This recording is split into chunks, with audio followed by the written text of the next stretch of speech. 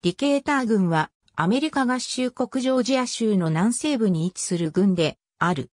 2010年国勢調査での人口は27,842人であり、28,240年の39,858人から1.4%減少した。郡庁所在地はベーンブリッジ市であり、同郡で人口最大の都市でもある。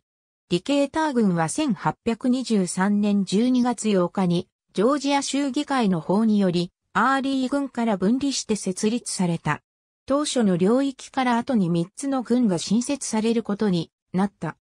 1825年にはトーマス郡が、1905年にはグレーディ郡が、1920年には西部にセミノール郡が設立された。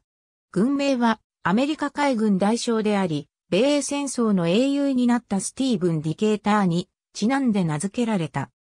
アメリカ合衆国国勢調査局によれば、郡域全面積は623.16平方マイルであり、このうち陸地596.80平方マイル、水域は26.36平方マイルで、水域率は4.23%である。ジョージア州には他にディケーター市があるが、こちらはリカーブ郡に入っている。アメリカ国道ジョージア州同意下は2000年の国勢調査による人口統計データである。ありがとうございます。